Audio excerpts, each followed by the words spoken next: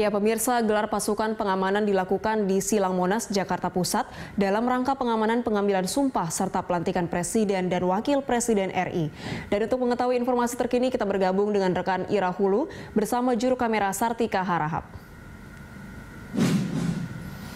Ya Ira, bagaimana situasi apel gelar pasukan pengamanan jelang pelantikan Presiden Joko Widodo? Baik Anggita dan pemirsa, TNI Polri beserta beberapa instansi terkait hari ini menggelar apel gelar pengamanan untuk jelang pelantikan Presiden dan Wakil Presiden terpilih 2019-2024 Jokowi Ma'ruf Amin yang mana uh, pelantikan tersebut nanti akan dimulai pada uh, tanggal 20 Oktober 2019 mendatang. Kegiatan pengamanan ini dilaksanakan dalam rangka memberikan rasa aman dan rasa nyaman kepada masyarakat serta juga untuk menyukseskan pelantikan pada 20 Oktober nanti. Dan berdasarkan pemantauan kami saat ini, kami tadi sudah melihat bahwa apel ini telah uh, dilakukan gladi bersih sebelumnya pada pukul 6.30 ataupun pukul setengah 7 pagi.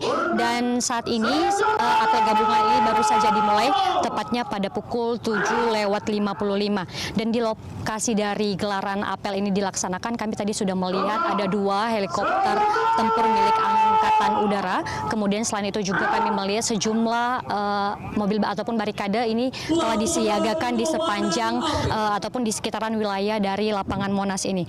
Adapun uh, apel ini nanti akan dipimpin oleh Panglima TNI Marsikal TNI Hadi Cahyanto dan juga nanti rencananya akan dihadiri oleh Kapolri yakni Tito Karnavian. Anggit Ya, Ira berapa banyak personel yang diturunkan untuk pengamanan itu ya? Ya Anggit kalau melihat berdasarkan data personel yang mengikuti apel saat ini yakni ada 4.800 personel gabungan yaitu baik yang terdiri dari TNI, Polri, kemudian juga ada dari petugas Dinas Perhubungan, Satpol PP dan juga petugas pemadam kebakaran. Tapi nanti untuk jelang pelantik, pelantikan pada saat uh, pelantikan sendiri yakni pada tanggal 20 Oktober 2019 berdasarkan data yang telah kami peroleh dari Polda Metro Jaya ada sebanyak 30.000 personel pengamanan gabungan gabungan yang akan dikerahkan untuk langsung mengkawal pelantikan presiden dan wakil presiden terpilih ini. Yang mana di dalam uh, pelantikan tersebut dan pengamanan tersebut akan terdiri dari tiga ring. Yang mana ring pertama yakni ada di DPR yang di mana tempat pelantikan tersebut dilaksanakan.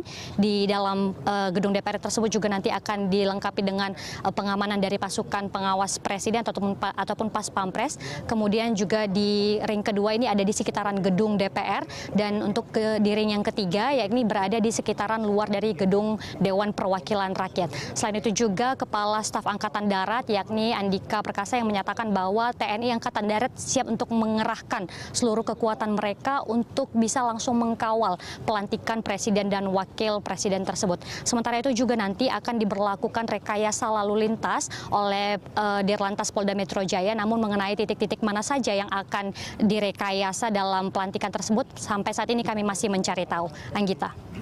Ya Ira, terima kasih atas laporan Anda dan selamat bertugas kembali. Pemirsa, demikian laporan rekan Ira Putri bersama juru kamera Sartika Arahap di Silang Monas, Jakarta Pusat.